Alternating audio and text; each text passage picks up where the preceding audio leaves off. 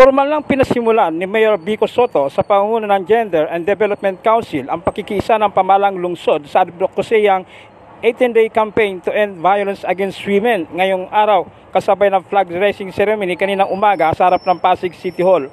Tampok ang temang United for a Bow Free Philippines alinsunod sa mandato ng Proclamation 1172 Series of 2006 against trafficking and child pornography. Nakisa rin sa pagsisimula ng kampanya ang mga konsihala ng Pasig City Council, Local Council of Women, Girl Scout of the Philippines, Public Safety Division, Barangay Bausi Desk Officers at members at mga kinatawan mula sa pamalang lungsod ng Pasig. Sa binahaging mensahe ni Mayor Soto, sumentro ito sa paksa ng equity at pagkilala o pagtingin sa karapatan ng kababaihan para sa pangkalahatang kabutihan o ikauulad, hindi lamang ng lungsod kundi pati na rin ng buong bansa.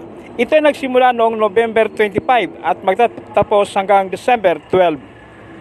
Ngayon po ang unang lunes ng panahon na kung saan sineselebrate po sa buong mundo ang 18-day campaign against violence against women. Alam po ninyo, ang uh, ating pong uh, sinasabi, violence, there is violence kapag po may mga karahasan po, either physical, mental, o sexual, na ginagawa po na ang biktima po ay ating mga kababaihan, kabataan, at iba't ibang kasarian. Naniniwala rin kami na sa kasalukuyan ay mayroon pang hindi pantay na pagtingin at pagtrato sa ating lipunan batay sa kasarian, edad, kalagayan sa lipunan at relihiyon.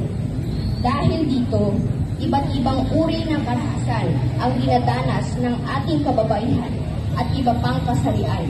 Kami ay Pasgenyo. Kami mismo ay hindi kami papayag na manatili sa ganitong estado. Ang aming syudad, gagawa kami ng mga paraan tungo sa isang Pasig na matiwasay at walang karahasan. Pahahalagahan namin ang aming relasyon sa aming kapwa. Tuturuan namin ang aming mga anak na rumispeto sa kababaihan at ibang tao na ang pagiging malakas ay hindi nasusukat ng karaasan at pagiging dominante. Isusulong namin ang mga eksidente ng karahasan sa mga tahanan, mga pang-aabuso sa babae, bata, matanda, bakla, tomboy sa tamang autoridad. Hindi kami mananahimik lamang, aaksyon kami laban sa karahasan, magpoprotesta kami laban sa pang-aapi at diskriminasyon, kikilos kami para makamtan ng hustisya para sa lahat. Lahat ng ito gagawin namin bilang tao na nagmamahal sa kapwa-tao. Kasi nawa ako ng ating Panginoong Diyos. Ako si Nolan Ariola, nag-uulat para sa DCRJ 18 AM, ang Radyo Bandido TV.